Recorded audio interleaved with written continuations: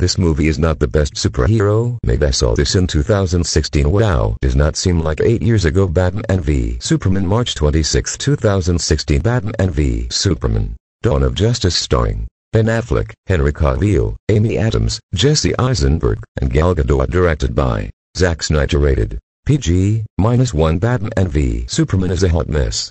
It's a prime example of ideas over execution. The film is grossly overstuffed with side characters, B-plots, and senseless explosive violence. Aren't these heroes meant to protect the world? Well, you'd think, but they're too busy destroying it instead. I'm going to assume a lot of incoherence in the film is due to director Zack Snyder. I know, I can't blame everything on a director, but have you ever watched a Zack Snyder film? 300, Man of Steel and The Atrocity That Was Sucker Punch are prime examples of Snyder's explosive style over substance technique that's on full display in Batman and v Superman. After looking at his previous work, it amazes me that Warner Brothers trusted him to direct this massive film for DC Comics that essentially sets up the Justice League. My biggest issue with Batman and v Superman is its lack of narrative cohesion. The first act tries to be a very serious superhero drama, it attempts to show the audience the tension between Batman and Superman. At times this is actually interesting.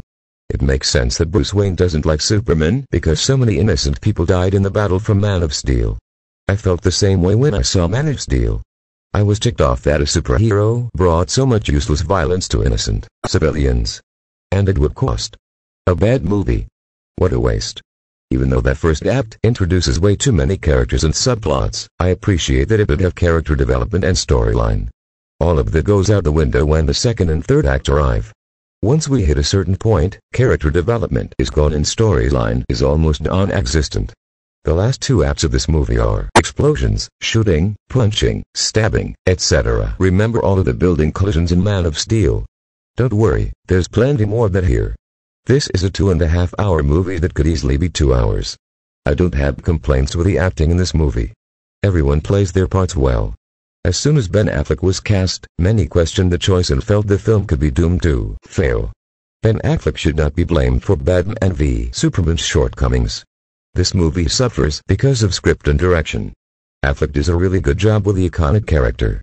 Imagine what he could have done with a good script. The second biggest question mark of the film was Jesse Eisenberg as Lex Luthor. Quite honestly, I thought he did well with the character.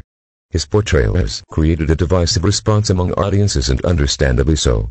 However, for every over-the-top minute he was on screen, I was entertained. He brought an eccentric, menacing energy to a very dreary movie. Henry Cavill is good as Superman slash Clark Kent. He fits the character very well. However, this feels like more of a Batman movie than a Superman movie. Although Superman is a frequent topic of discussion, he doesn't seem to have as much screen time as Batman. Amy Adams is fine as Lois Lane. I have no problems with her acting, but I have problems with the character. Lois Lane exists as a stereotypical damsel in distress in this version of the story. She almost dies about three times to have Superman save her at the last possible minute. I'm a big Amy Adams fan, but Lois' characterization is so painfully dull.